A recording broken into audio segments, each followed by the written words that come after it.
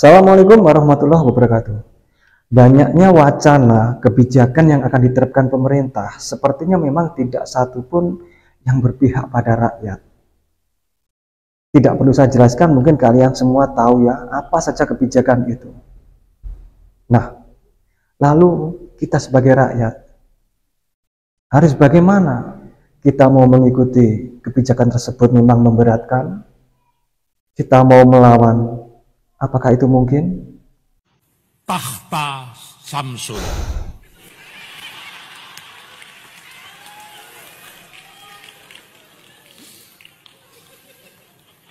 Ibu Suri sangat sedih menyaksikan anaknya jualan martabak. Sulungnya raja, kok tabungannya tipis, tak punya masa depan, dan tak ada kursi untuk bertahta. Ketika tiba saatnya suksesi dan musim kompetisi, Ibu Suri dan suaminya menyiapkan segalanya. Pagi-pagi sekali, Ibu Suri datang membawa kursi karya suaminya yang hobinya main kayu. Lalu dia minta anaknya, Samsul namanya, untuk mencoba duduk di atasnya. Bagaimana nak? Tanya Ibu Suri dan suaminya serempak. Nyaman, ibu dan bapak, jawab Samsul.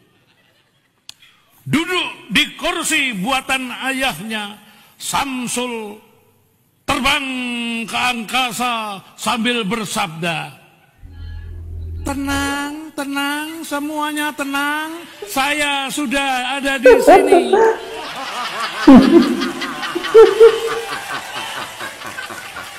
Saya sudah ada di sini, tak perlu jualan martabak lagi. Guys, kalau lu cari mukanya Kaisang lagi diwawancara tentang putusan MA ngelolosin dia, lu nggak bakal nemu. Kaisang ngumpet, disembunyiin, itu udah template. Kalau bapaknya yang nongol, nanya ke bapaknya, bapaknya bakal bilang, tanya aja ke MA. Iya kan? Bukan urusan saya itu. Saya belum tahu. Abangnya ditanya, sama juga. Tanya aja tuh Kaisang. Itu ada putusannya dari Kaisang, keputusannya mau maju atau enggak. Kalau pelanggaran satu udah dibiarkan, maka pelanggaran berikutnya akan ada lagi. Apa yang tahu sih ini mana yang kemarin bilang kalau Gibran itu bukan nepotisme, bukan politik dinasti. Terus sekarang nyebut Kaisang apaan nih? Lu mau ngomong apa sekarang? Mau ngomong kalau misalkan gak suka nggak usah dipilih. Atau lu mau ngomong kan yang milih rakyat, bukan dia mau sendiri. Bahkan ada juga yang bilang nih kalau keturunan Jokowi semuanya bagus untuk bangun Indonesia, gua akan pilih. Nah, bukan begitu. Yang dibahas orang-orang adalah masalah MA yang ngubah usia minimal calon gubernur dan calon wakil gubernur hanya untuk Kaisang. Itu yang dipermasalahin. Mau ngarepin apa dari Kaisang? Pengalaman juga belum punya. Sekarang nih warga Indonesia, lu mau tanya siapa? Lu tanya ke Jokowi lu nggak bakal bisa, lu nggak bakal dapet jawaban apa pun dari Jokowi yang katanya presiden paling dicintai rakyat itu. Nggak bakal ngasih lu jawaban apa-apa. Dan gue udah sering bilang ini di video gue. Kalau presiden nggak bisa ngomong dan nggak jago ngomong, public speakingnya burik. Ya kayak Jokowi. Lu nggak jengah punya presiden kayak gini. Iya Jokowi bagus, bapak pembangunan. Bagus. Dia juga ngebangun dinasti tapi. Dan lu nggak perlu kaget kalau setelah ini bakal banyak hal, bakal banyak hukum yang diubah untuk mementingkan kepentingan seseorang atau suatu kelompok. Kalau orang miskin ngambil duit orang kaya, sebutannya ngerampok. Tapi orang kaya ngambil duit orang miskin, sebutannya bisnis. Adil kan? Nggak adil, Pak. Kalau pejabat ngambil duit rakyat, sebutannya koruptor. Tapi kalau pemerintah ngambil duit rakyat, sebutannya kebijakan.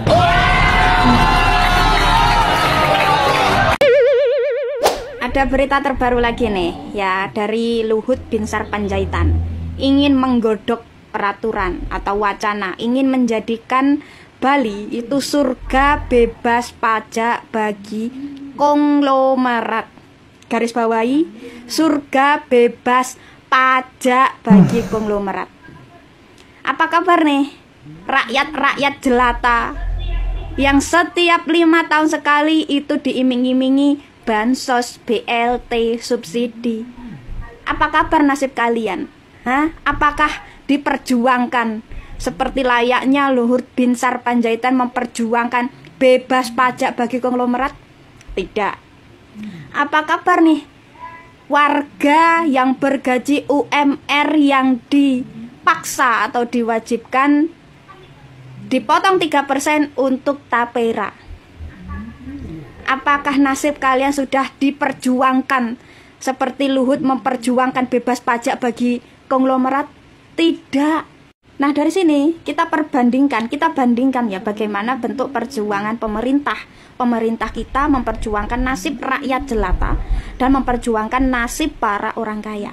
Nah, pemerintah di sini detik ini untuk memperjuangkan nasib orang miskin untuk sekedar memberikan rumah layak untuk orang miskin itu harus dipotong 3% gajinya setiap bulan.